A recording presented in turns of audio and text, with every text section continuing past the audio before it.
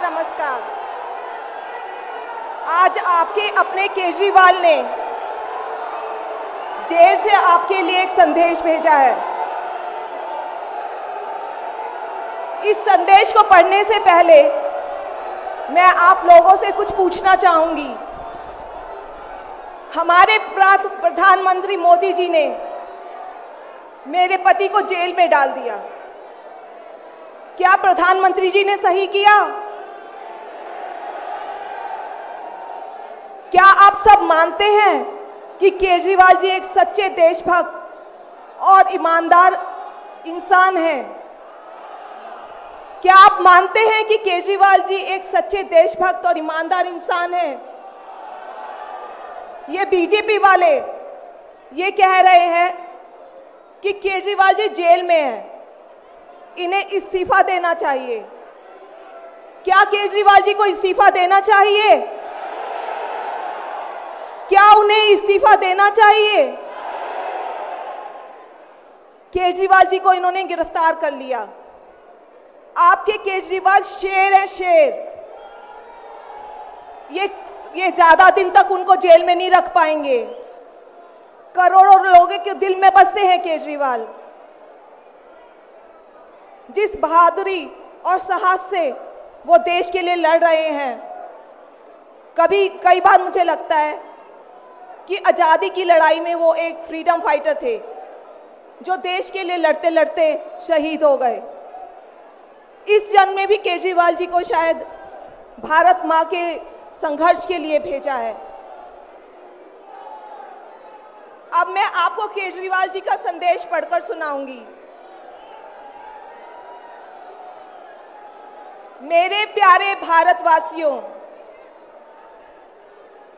Jail से आप सब अपने इस बेटे, अपने भाई का प्रणाम स्वीकार कीजिए।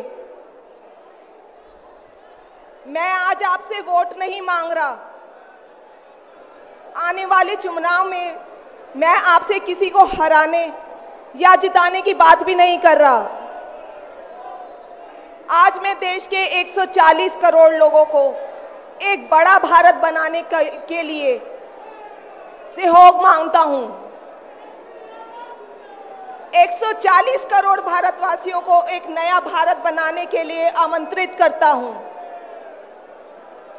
भारत एक महान देश है। हमारी संस्कृति कई हज़ार वर्ष पुरानी है। भगवान का दिया सब कुछ है भारत में।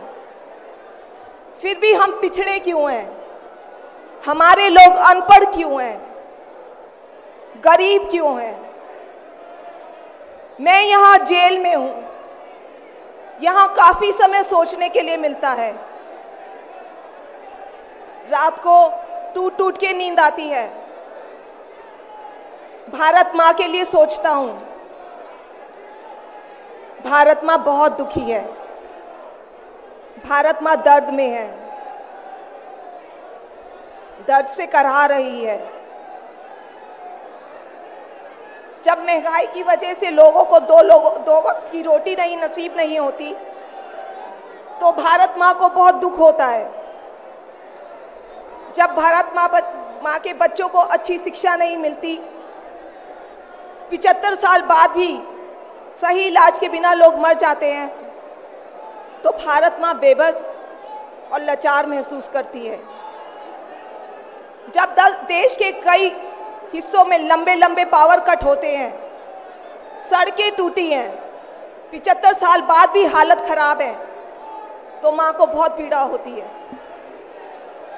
उस पर जब कुछ नेता सुबह शाम लच्छेदार भाषण देते हैं, शानो शौकत की ज़िंदगी जीते हैं अपने दोस्तों के साथ मिलकर देश लूटने में लगे हैं। तो भारत माँ को बहुत गुस्सा आता है। ऐसे लोगों से भारत माँ को सख्त नफरत है। आइए, मिलकर एक नया भारत बनाते हैं। 140 करोड़ लोगों के सपने का भारत। एक ऐसा भारत जहाँ हर इंसान को भरपेट खाना मिलेगा। हर हाथ को काम मिलेगा। कोई बेरोजगार नहीं होगा। कोई गरीब नहीं होगा। कोई अनपढ़ नहीं होगा। हर बच्चे को अच्छी शिक्षा मिलेगी, चाहे वो अमीर का बच्चा हो या गरीब का। हर बीमार को अच्छा इलाज मिलेगा, चाहे वो अमीर हो या गरीब। देश के कोने कोने में 24 घंटे बिजली होगी। देश के हर गाँव में शानदार सड़कें होंगी। एक ऐसा भारत होगा, जो पूरे विश्व विश्व में शिक्षा का केंद्र होगा, जहाँ दुनिया भर के युवा पढ़ने के लिए आएँगे। एक ऐसा भारत बनाएँगे, जो साइंस और टेक्नोलॉजी में वर्ल्ड लीडर होगा। भारत के अध्यात्म को दुनिया के कोने कोने तक पहुंचाएँगे। एक ऐसा भारत बनाएँगे, जहाँ कोई ऊंच नीच नहीं होगी, नफरत नहीं होगी, मारपीट नहीं होगी गाली गलोच नहीं होगी, जहाँ सबको न्याय मिलेगा, प्रेम और भाईचारा होगा। आज मैं देश के 140 करोड़ लोगों को ऐसा भारत बनाने के लिए आह्वान करता हूँ। यदि आप सब इंडिया गठबंधन को मौका देते हैं, ज़िम्मेदारी सौंपते हैं तो हम सब मिलकर ऐसे महान राष्ट्र का निर्माण करेंगे। केवल नाम में इंडिया गठबंधन नहीं है, दिल में इंडिया है, दिल में।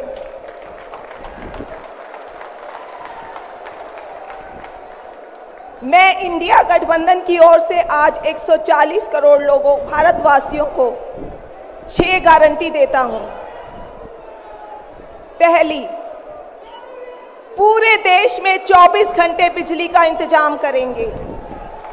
कहीं कोई पावर कट नहीं होगा।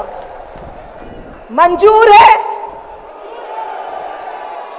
दूसरा, पूरे देश के गरीबों की बिजली फ्री करेंगे। मंजूर है। तीसरी, हर गाँव और हर मोहल्ले में शानदार सरकारी स्कूल बनाएँगे। अब गरीबों और अमीरों के बच्चों को अच्छी और एक समान शिक्षा मिलेगी। होना चाहिए। चौथा, हर गाँव और मोहल्ले में मोहल्ला क्लिनिक बनाएँगे। हर ज़िले में शानदार मल्टी स्पेशलिटी सरकारी अस्पताल बनाएँगे। देश के हर व्यक्ति के लिए शानदार और फ्री इलाज की व्यवस्था करेंगे। मंजूर है। पांचवी, किसानों को स्वामीनाथन आयोग के मुताबिक सही फ़सलों पर एमएसपी निर्धारित करके उनको फ़सलों के पूरे दाम दिलवाएँगे। मंजूर है?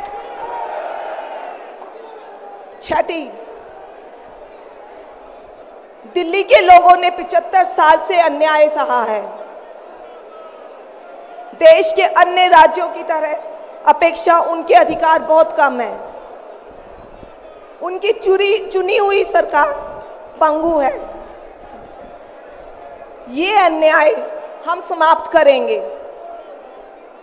दिल्ली वासियों को उनका हक दिलाएँगे। दिल्ली को पूर्ण राज्य का दर्जा दिलवाएँगे। मंजूर है। मैं आज ये ऐलान करने के लिए अपने सभी इंडिया गठबंधन के साथियों से माफ़ी माँगता हूँ। क्योंकि ये ऐलान करने के पहले मैंने उनसे उनकी अनुमति या सहमति नहीं ली। जेल में हूँ, इसलिए सहमति लेना संभव नहीं था। उम्मीद करता हूँ कि किसी को इस पर आपत्ति नहीं होगी। ये सभी छह गारंटी हम पाँच साल में पूरी करेंगे। इसका पैसा कहाँ से आएगा? इसकी पूरी प्लानिंग कर ली है। मैं यहाँ जेल में स्वस्थ हूँ। पूरी ऊर्जा से भरा हूँ। इस गिरफ्तारी ने मेरे हौसलों को और मज़बूत किया है। आपकी दुआएँ और आशीर्वाद मुझे लगातार मिल रहे हैं। ऊपर वाला मेरे साथ है। जल्द बाहर आकर आपसे मिलता हूँ। आपका अरविंद।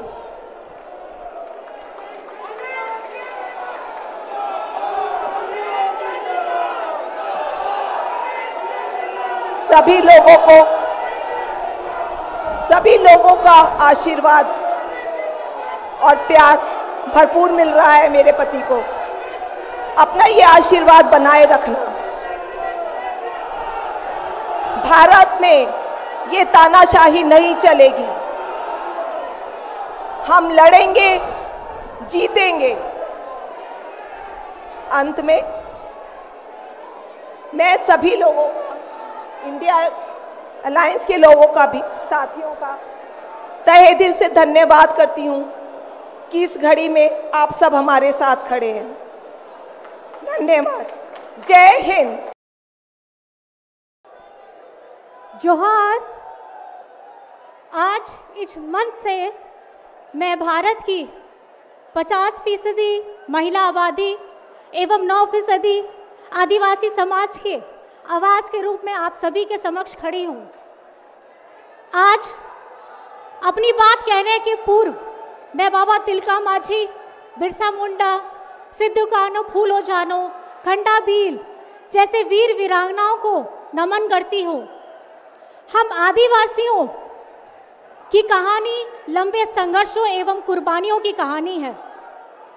और हमें अपने महापुरुषों एवं वीरांगनाओं पर गर्व है, क्योंकि हमारे इतिहास, आदिवासी इतिहास, शताब्दियों के प्रतिशोध, संघर्ष की आग से तपा हुआ, खून से लिखा हुआ इतिहास है, जिसे हमें सारे आदिवासियों पर गर्व है।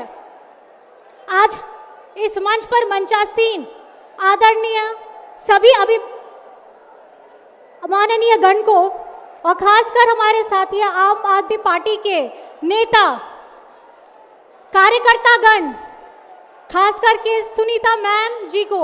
और यहाँ उमड़ा ये जन सैलाब, आप सभी को हुल जोहार है। आज ये उमड़ा ऐतिहासिक इस मैदान में सैलाब इस बात की गवाही दे रहा है कि लोकतंत्र को खत्म करने के लिए जिस तरीके से तानाशाह ताकतों ने अपना कदम बढ़ाया है, उसको अंत करने के लिए ये संकल्प सभा यहाँ पे आमंत्रित हुई है, जिसमें आप सभी जन, भारत के हर एक देश, हर एक प्रांत से आए हुए हैं। आप सभी को बहुत बहुत शुक्रिया बहुत बहुत बधाई कि आपने हमारी ताकत को, इंडिया गठबंधन की ताकत को बढ़ाया है। आपके यहाँ उपस्थित होने से हम सब मंचासीन जितने पार्टी के कार्यकर्ता हैं, पार्टी के माननीय गण हैं, सभी को ताकत मिलती है, क्योंकि हमारी ताकत आप सब, यहाँ भारत की 140 करोड़ की जनता है, जिनका बहुमत, जिनका हिम्मत, जिनका ताकत हम सभी को मिला है। आज भारत में बाबा साहेब जी के संविधान के प्राप्त जितनी भी गारंटियाँ हैं, उन सभी को एनडीए सरकार के द्वारा उसे नष्ट किया जा रहा है। इनकी गारंटियों की गारंटी कौन लेगा? जिन्होंने एक एक करके हमारे संविधानिक संस्थाओं के संविधानिक मूल्यों को तहस नहस किया है, जिस ढंग से आज बेरोजगारी चरम सीमा पर है, जिस ढंग से आज महँगाई सातवें आसमान पर है, जिस ढंग से पूरे देश में नफरत की आग फैलाई जा रही है, जिस ढंग से हर एक जाति, हर एक वर्ग के अधिकारों की रक्षा के लिए भी यहाँ कोई नहीं खड़ा हुआ है। क्या कोई भी इस देश में बड़ा नेता हो जाए, वो सबसे बड़ा नहीं होता है। आज भारत की जनता सबसे बड़ी है। अगर कोई दल बहुत अपने आप को शक्तिशाली समझता है, लेकिन भारत की 140 करोड़ की जनता से ज़्यादा शक्तिशाली और ताकतवर नहीं हो सकती है। आपकी एक उंगली, इस उंगली का इस्तेमाल करिएगा।